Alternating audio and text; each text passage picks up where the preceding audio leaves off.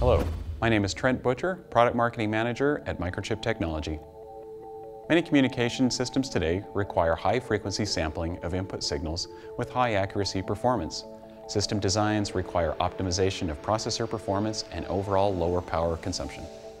Microchip Technologies MCP37D31-200 is a 16-bit 200 megasample per second A to D converter that has industry-leading low power operation with high integration of digital processing functions such as decimation filters and a digital down converter.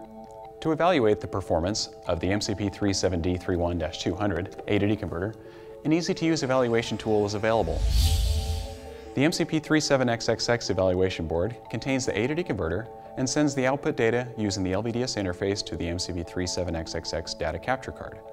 This board receives the data and makes it available through the USB interface to the computer. Performance metrics such as SNR, SFDR, THD, INL, and DNL are available to view through a graphical user interface. The time domain and frequency domain responses are available for viewing.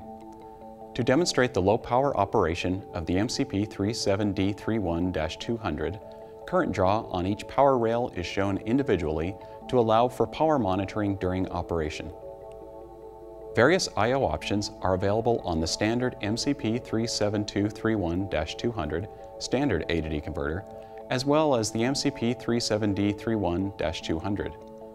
Integrated decimation filters are also included, with each additional filter giving a 2 to 3 dB SNR improvement, as long as the input signal is not filtered off.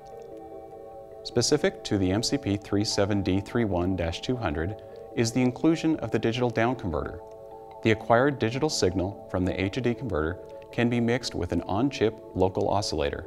The output can be viewed in a number of formats, including combined and I/Q output.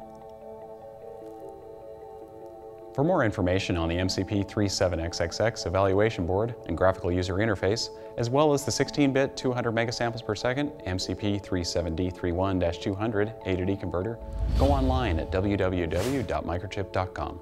Thanks for watching.